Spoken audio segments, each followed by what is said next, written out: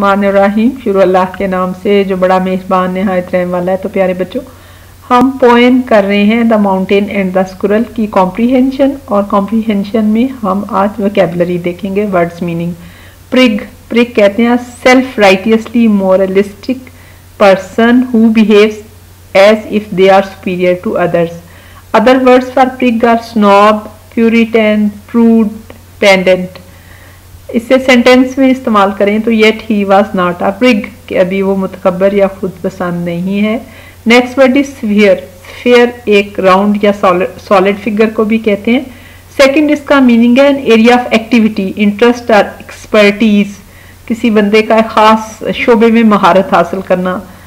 इसके other words for sphere are earth ball round globe और opposite words are unemployment block rectangle square and cube अगर हम इसे sentence में use करें the earth is shape like a sphere ज़मीन जो है वो गोल है।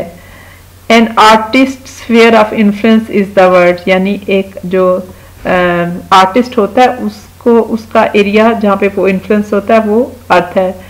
The pursuit of truth and beauty is a sphere of activity in which we are permitted to remain children all over life ये Albert Einstein का call है कि हम सच्चाई और खूबसूरती की तलाश में जो है वो सारी हमारी ज़िंदगी में हम बच्चे ही रहते हैं, यानी हम सीखते ही रहते हैं, छोटे ही रहते हैं। नेक्स्ट जो है, वो है डिस्ग्रेस लॉस ऑफ़ रेप्यूटेशन और respect as the result of a dishonourable action कोई ऐसा काम करना जिससे आपकी इज़्ज़त में कमी हो, उसको डिसग्रेस कहते हैं। This other word for disgrace are degrade shame discredit and dishonour opposite of disgrace are honoured credit respect in favour and praise यानी इसका किसी की इज़्ज़त करना, किसी की तारीफ़ करना। There is no disgrace in being poor गरीब होना कोई डिस्ग्रेस की बात नहीं है। It isn't a disgrace not to reach the star but it is a disgrace to have no stars to reach for यानी इसका मतलब है, आप जो है, वो कोई आपका विजन ना हो। Dream big work hard start living the life you have always wanted to live यानी आप ख्वाब देखें, उनको पाने के लिए मेहनत करें और जिस तरह की ज़िंदगी गुजारना चाहते हैं, वैसी गुजारें। A goal without a plan is just a wish एक गोल प्लान के बगैर सिर्फ़ एक ख्वाहिश रह जाता है। तो हमारी ख्वाहिश है, हम स्कूल किस लिए आते हैं? बी अ गुड सिटीजन के हम अच्छे शहरी बने। अच्छे शहरी कैसे होते हैं?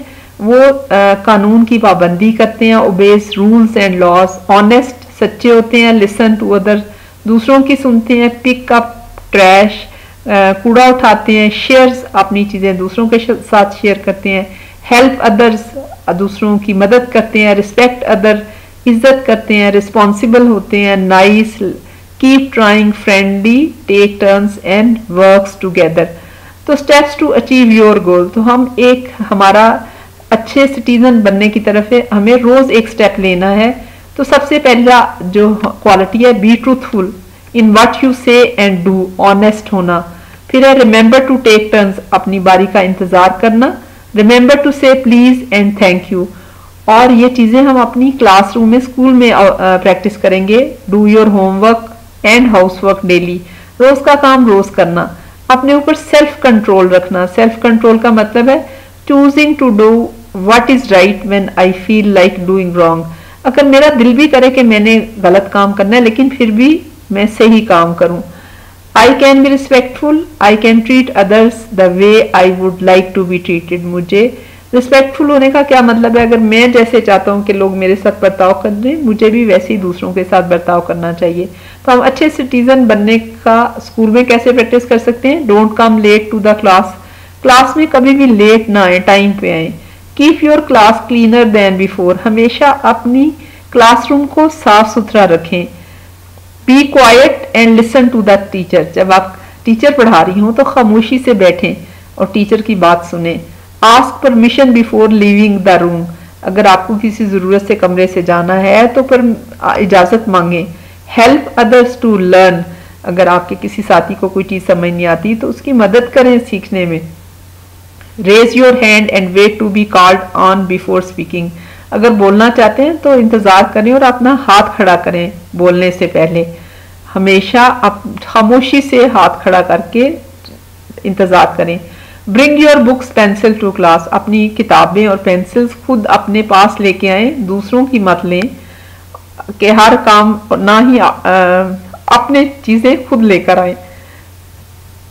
Use polite words please thank you हमेशा पोलाइट वर्ड्स यूज़ करें बात करते हुए, आहिस्ता आवाज़ से बात करें। डोंट फाइट दूसरों के साथ लड़ाई, झगड़ा ना करें। और स्टडी हार्ड हमेशा मेहनत करें। तो प्यारे बच्चों, उम्मीद है आप अच्छे शहरी बनेंगे और स्कूल में रहते हुए अच्छे शहरी बनने की प्रैक्टिस करेंगे। और ये लेसन आपको पसंद आया होगा, इस चैनल को सब्सक्राइब करें, इस वीडियो को लाइक और शेयर करें।